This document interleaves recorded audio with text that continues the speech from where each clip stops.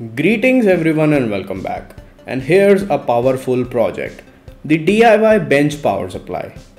With the exception of PSU we used, which was extracted from an old Ender 3 printer, everything was made completely from scratch. Here we are using the ZK4KX DC-DC buck boost converter module, an adjustable regulated power supply module with a voltage range of 0.5 volt to 30 volt and 4 amps. It can be used for a number of power related applications such as solar battery charger, as a boost converter to drive high power LEDs or even to create bench power supply. We created a PCB with a flux capacitor design to add some visual elements to our project. It has a few SMD LEDs that continuously displays an animation like a flux capacitor. The ATtiny85 microcontroller drives all these LEDs and the SMPS power the power supply. We have added a power inlet box with fuse holder along with a few banana pins connector and other stuff which are all clearly explained in this video. So let's get started. The heart of this project is this ZK4KX DC-DC buck boost converter which is a 0.5 volt to 30 volt 4 amps power module adjustable regulated power supply featuring an LCD that can display input and output voltage, output current, output power, output capacity, output time, along with many key features like a good conversion efficiency of 88%, stable 3 amp output current, and input and output reverse protection, and more. We are using an old 3D printer's 24 volt 10 amp power supply as our power source. Given that the ZK4KX module only allow voltage up to 30 volt, a 24 volt PSU was ideal for this situation.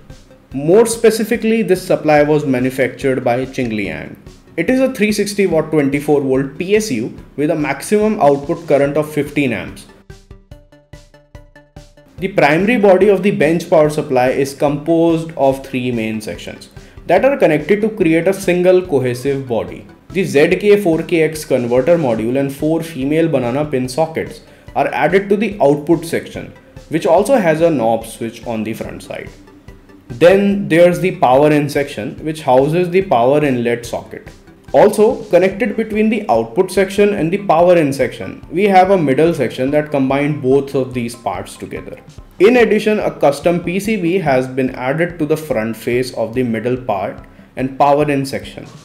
On this PCB, LEDs will be placed to create an aesthetically pleasing light board that is modeled after a flux capacitor. The model was created using Fusion 360 and then three different PLA colors, white, grey and black, were used to 3D print them. The flux capacitor circuit was designed first with one major change from the original project I made a couple of years ago. Also, we have used 5 N-channel MOSFETs in this case for powering the 5 LEDs separately. The I.O. pins of the ATtiny85 are connected to the gate of each MOSFET through a resistor. The device is turned on and off by the push button switch that is connected to the VCC. To further limit the current flowing through the LEDs, we have included a load resistor in this case. A 1K resistor is being utilized in the package of 2512. This circuit was actually from an old similar project which you can check out on my channel. As for the PCB outline and the board design, we have basically used the layout made in the CAD file. After completing the PCB, we exported the Gerber data and sent it to PCBWay for samples. We place an order for a white silkscreen LED board. After placing the order, the PCBs were then received within a week and the PCB quality was pretty great. They are presently celebrating their 10th anniversary in business by hosting a tour that include a few activities in which you can take part and win some goodies, such as special coupons and chance to open blind boxes filled with merchandise from their gift shop. PCBWay's commitment to quality and customer satisfaction has always been unwavering, leading to significant growth and expansion. You guys can check PCBWay out if you want great PCB service at an affordable rate and low price. The PCB assembly process began by first adding solder paste to each component pad. Next, we pick and organize each SMD component after positioning them in their proper location. After that, we set the board on our PCB reflow hot plate which increases the PCB's temperature from below to the point at which the solder paste melt, allowing the components to be soldered to their pads. Next, we place the push switch and the dip 8 socket in their proper location and then use a soldering iron to solder their respective pads. The board is now completed.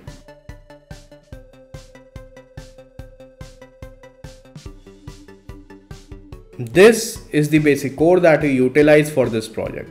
5 IO pins of the ATtiny85, the D0, D1, D2, D3 and D4 are all connected to each of the 5 output pins that we are using. You can download this sketch along with other details about this project from this project page.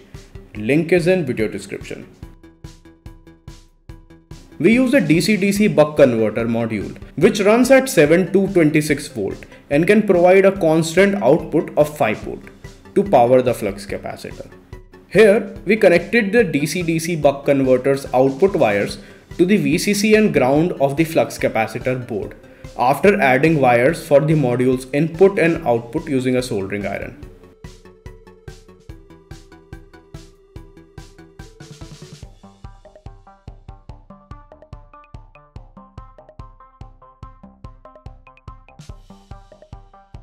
The assembly process began with setting up the output section and inserting the ZK4KX module into the designated body slot.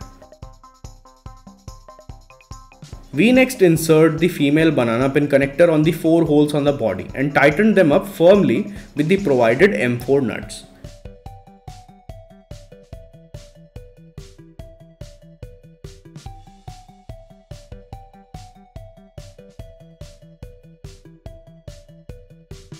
The banana pin has a washer like part that we can solder wire to and make connections on.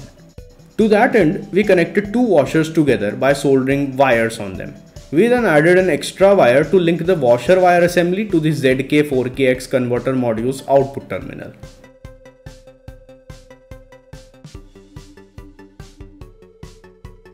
We created a total of two washers wire assemblies each of which is positioned behind the banana pin that have been inserted to the output body section.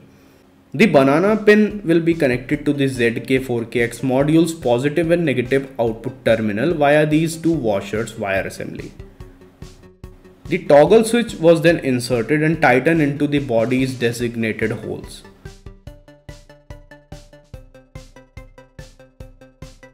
Next, we connected the toggle switch to the ZK4KX module. This switch is designed to break the positive line that connects the module's input to the power supply.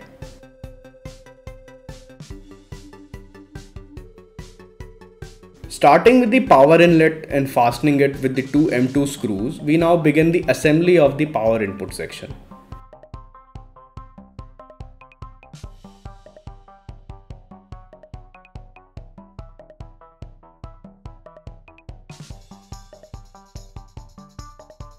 Using the 6 M2 screws, 3 on the bottom and 3 on the top, we join the middle section and the power input section together.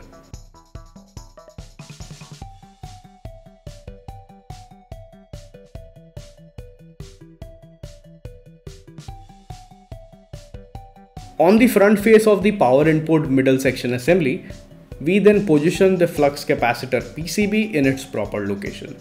The flux capacitor PCB is then fastened to its location using 4 M2 screws.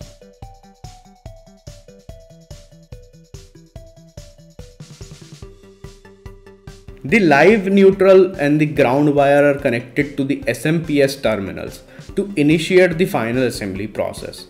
The DC-DC buck modules positive and negative were then connected to the SMPS 24 volt and ground terminals. Next, we connected the ZK4KX input terminal to the SMPS 24 volt and ground terminals.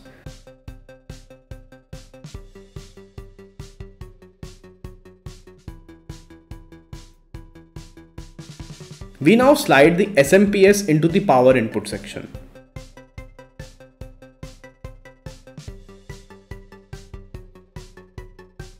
On the opposite side, we added the output section on top of the power input section. The SMPS is now secured between these two sections. Next, we use 6 M2 screws to attach both sections together. The assembly is now completed. The result of this project is this DIY bench power supply that was put together from scratch using a few components.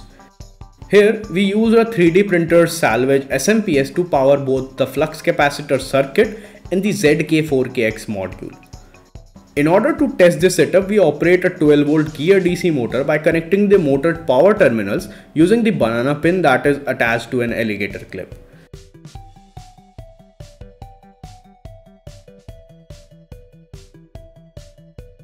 In the same way, we power our previously made LED badge project, which utilized 3.4 volts. This device low 50 mA consumption was shown on the ZK4KX display. The ZK4KX module can be used to drive a variety of load with constant current or voltage while monitoring a number of parameters such as power consumption, power, current and temperature, all of which are quite helpful. This bench power supply project should last at least 5 or 6 years but we have to wait and see what happens next. Overall, this project was a success and need no further revisions. In addition, we appreciate PCBWay's support of this project. Visit them for variety of PCB related services such as stencil service, PCB assembly services as well as 3D printing services. Thanks for reaching this far and I'll be back with a new project pretty soon. Peace out.